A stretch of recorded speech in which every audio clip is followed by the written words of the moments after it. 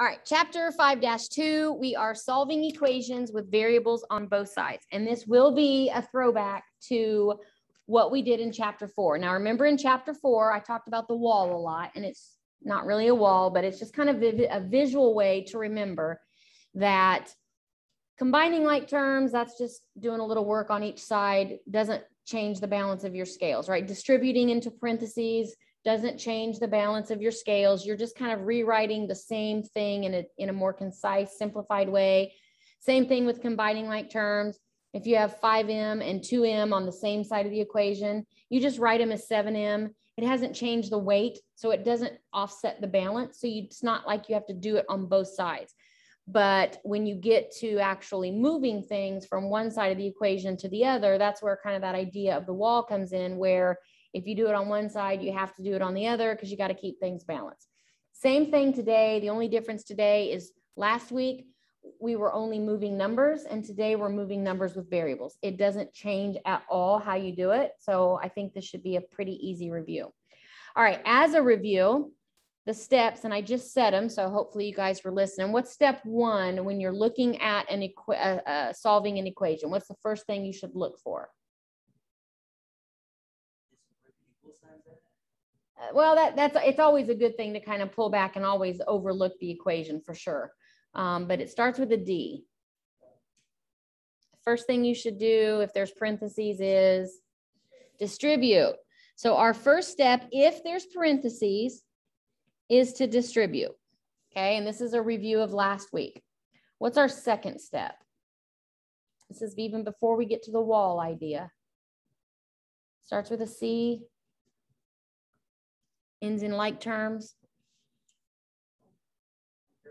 Combine, almost, combine like terms.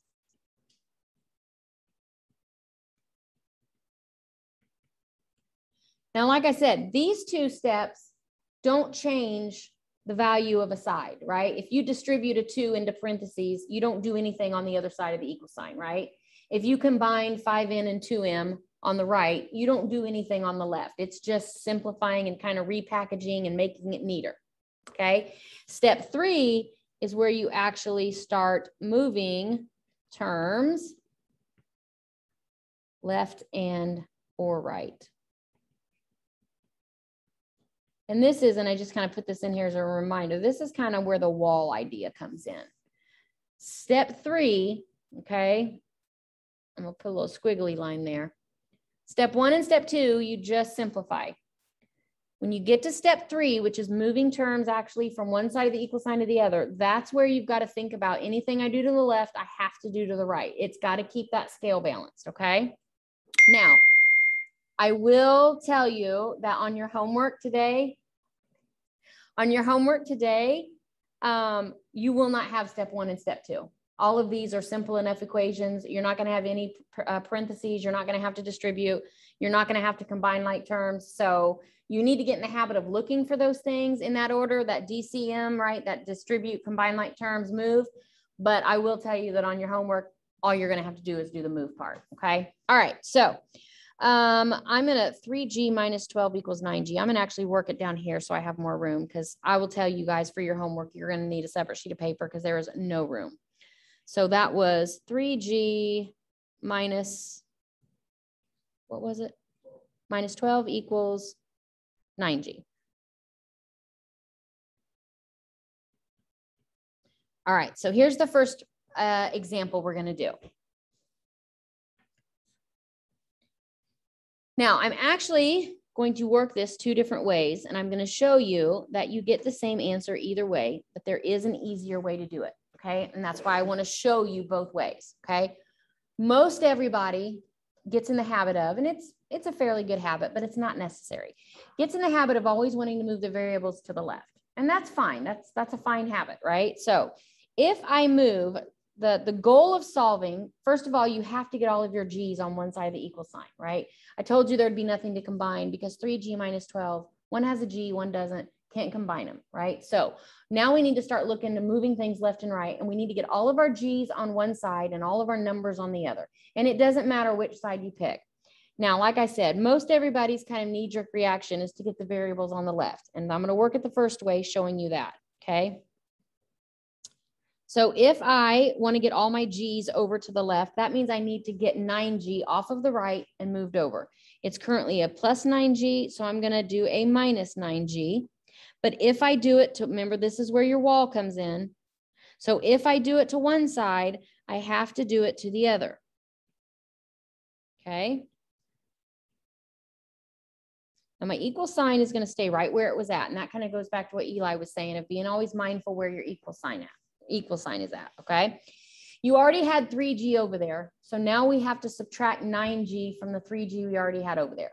So three, my, and that's why, that's why I wrote it right under G. You'll notice I always line up things when I'm moving things left and right. I always line it up right under the other thing over there that's common so that I can easily simplify it.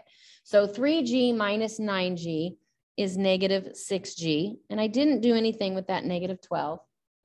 And then 9G minus 9G on the right leaves me with zero.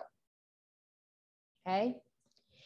Now I've got the G's on the left, which means I need to get all the numbers on the right because they have to be on opposite sides. So I've got a minus 12G. I'm going to plus 12. It's not G, sorry. I have a minus 12. That means I'm going to add 12 to both sides. Okay. That leaves me on the left, negative 6G. My negative 12 and positive 12 cancel out, effectively moving my 12 over to the other side. And I'm left with 12 over here.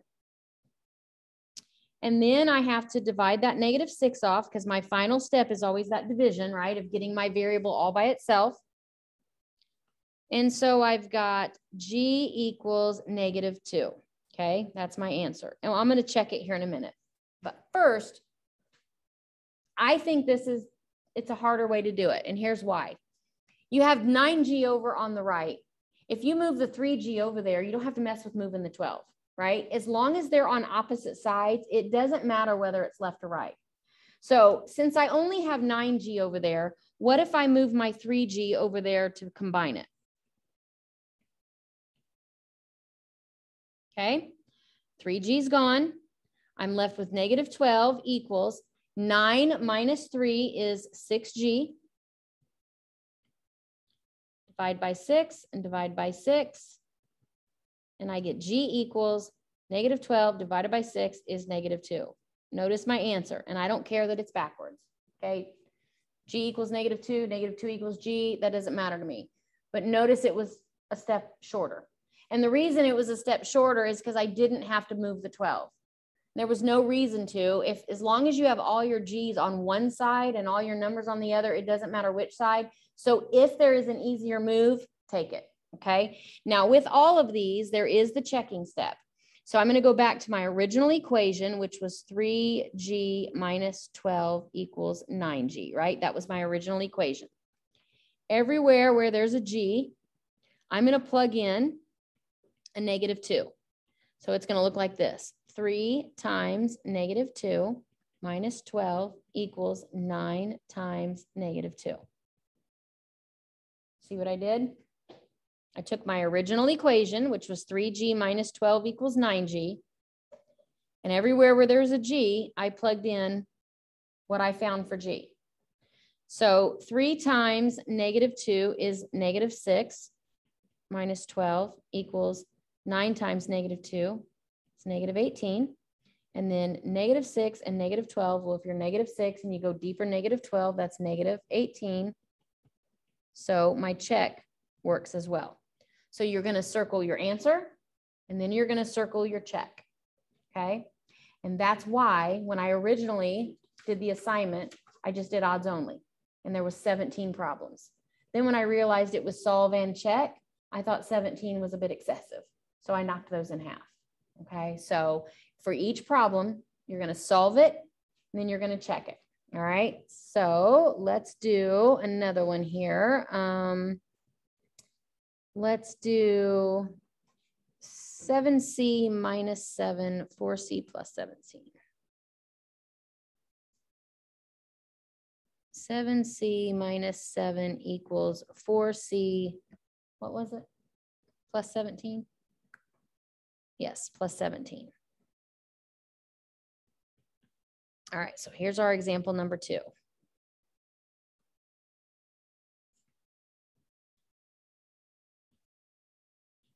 Now, no parentheses, nothing to distribute. You got seven C minus seven. Those are not like terms. One has a C, one doesn't. Can't combine those.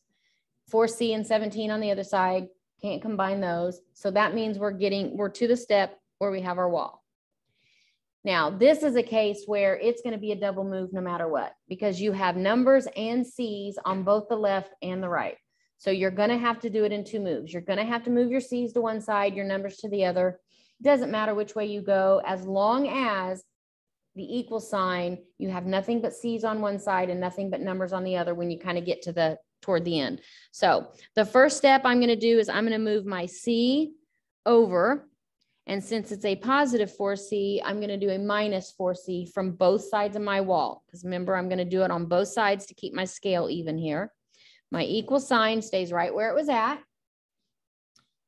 I had 7C minus 4C. Well, when you're subtracting and adding like terms, you just look at their coefficients. So 7 minus 4 is 3. Keep the C. 4C minus 4C is gone from that side, leaving me just 17. Now I'm halfway there. Now I need to get all of my numbers on the right since I put my um, variables on the left, all my numbers go on the right. So it's a minus seven. So I'm going to do the opposite, which is plus seven. Equal sign stays there again. Now my negative seven and positive seven cancel out, which is exactly what I wanted to happen. So over on the left, I'm left with just 3C. On the right, I have 17 plus 7, which is 24. And now I'm ready for that last step of breaking that tight bond of multiplication by division. And I'm left with C equals 8.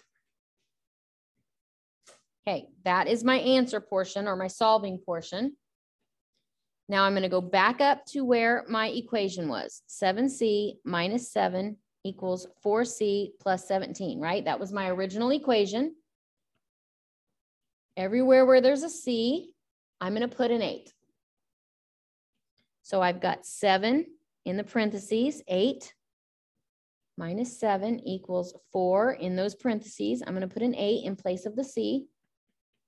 Okay, now I need to do a little bit of simplification on both sides.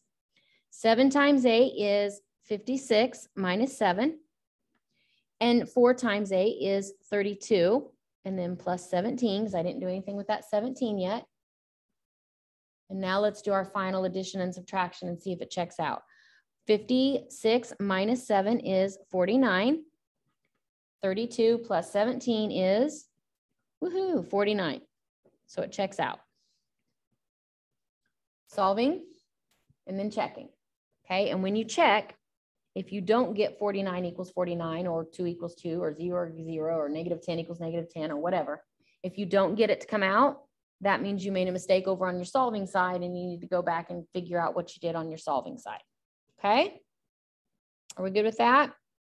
All right. Um, let's do one more example like that, and then we'll do one word problem example, and then we'll be done. So let's take number 19, and I should be able to fit it up here so I don't have to use room down there. So I've got 8n minus 6 equals negative 9n plus 11. Okay, that's our problem. 8n minus 6 equals negative 9n plus 11. Again, right, nothing to distribute, nothing to combine. So we're to the wall step. So if we think about our equal sign as our wall, we need to get all of the n's to one side and all of the numbers to another. So if I look at my negative 9n, I can get rid of it on the right by doing a plus 9n, right? Because negative 9n and positive 9n are going to cancel out. But whatever I do on one side, I have to do on the other. So underneath the other n, I'm going to write it on the other side of the wall or the equal sign. Now on the left, I've got 8n plus 9n, which is 17n. I didn't do anything with that minus 6, so I'm going to leave it alone for right now. Negative nine and positive nine cancel out, which is that was the whole point of that move, leaving over here just an 11.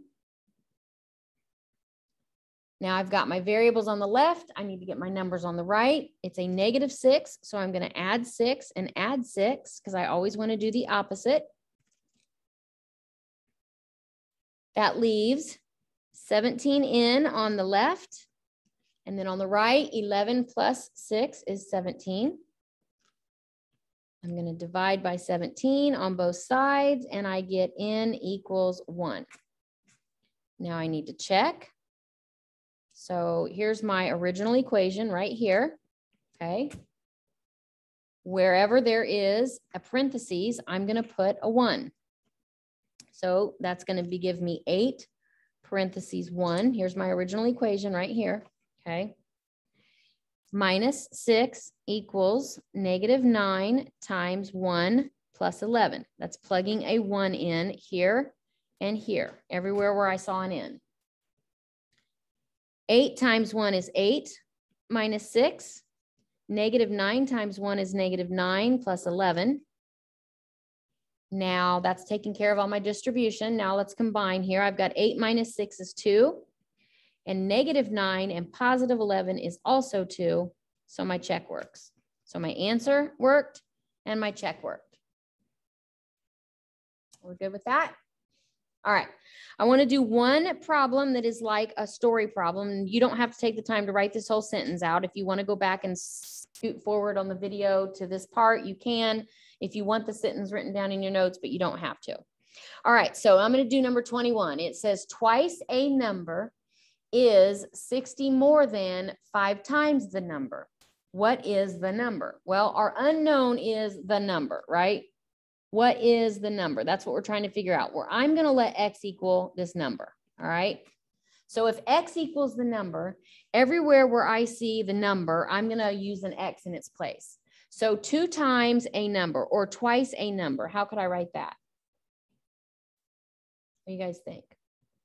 Two times a number. And for the number, I'm going to use the variable x. So two times x, I could write it as 2x. Right? You're okay. Now is means equals. And I think on your homework problems, it actually uses the word equals. But if you see is or you see equals, it means the same thing. So two times a number is 60 more than, so 60 plus five times the number. Well, if two times the number is 2x, what would five times the number be? 5x.